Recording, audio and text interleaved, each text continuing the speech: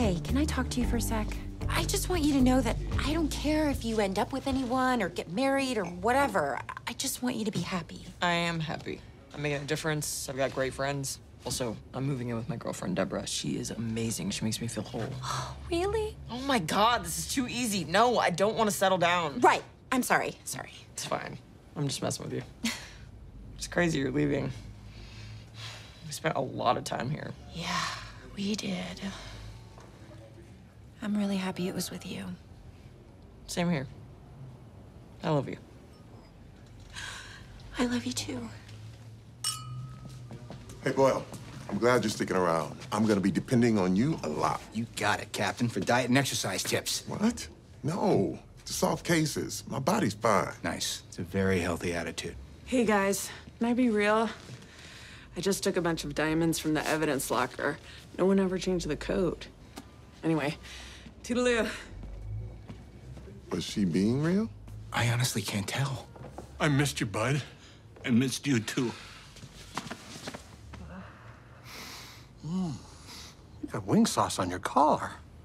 I left it there for you. So, you're leaving. It must have been a hard decision. Honestly, it wasn't. It's funny. On my first day here, I asked Jeffords to tell me about everyone. Told me you were a great detective, but the one thing you couldn't figure out was how to grow up. Well, I think you finally figured it out. Well, thank you, sir. I couldn't have done it without you. Over the years, you've sometimes referred to me as uh, something of a father figure. Did I? I didn't realize that. But I want you to know, if I had had a son, and uh, he had turned out like you,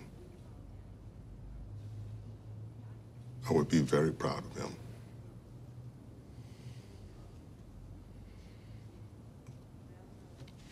Thank you, sir.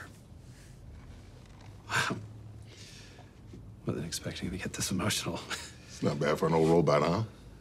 Yeep, warp, seep. sir, did you just make a joke? I believe I did. Yes. I guess in the end, we rubbed off on each other quite a bit. Title of your sex movie. Did I do that right? It was perfect. Guys, I hate to say it, but it's late and some of us have to work tomorrow.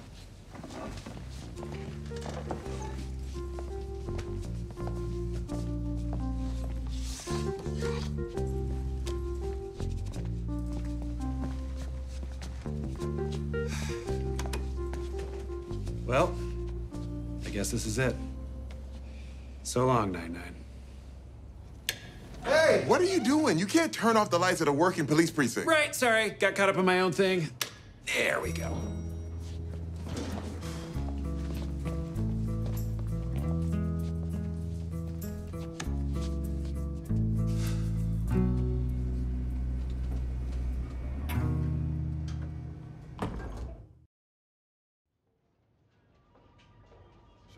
Shaheen you're on the Prospect Park Tiger. Gates, Nahar, remember to check in with forensics. Boyle, Larkin, I want you working the J Street axe murder. Ooh, we're the butcher bimbos. Nope. The butcher babes. Nope. Detective Boyle and his little butcher buddy. Oh, I like that. Now that that's been sorted, are there any questions? Yes, I have a question. Captain Jeffords, are you ready for the Halloween heist? What are you doing, Peralta? Last year was the final heist. We all agreed it was over. Ah, Terry, you jolly simpleton. That was obviously a ruse. I mean, did you really think I was gonna let Hitchcock win the last heist? That would be crazy. Hitchcock? It would have been unforgivable. That's true. It felt wrong. I know someone who's in. The old janitor, which is actually me. Deputy Commissioner Raymond Holt. And he's not the only one. I'm in too. Me too. As am I. Gina Linetti. That's right, Terry. This is happening every year. We're in each other's lives forever, whether you like it or not. So, what do you say, Captain? Are we doing this? What I say is. Nine nine! Not a doctor.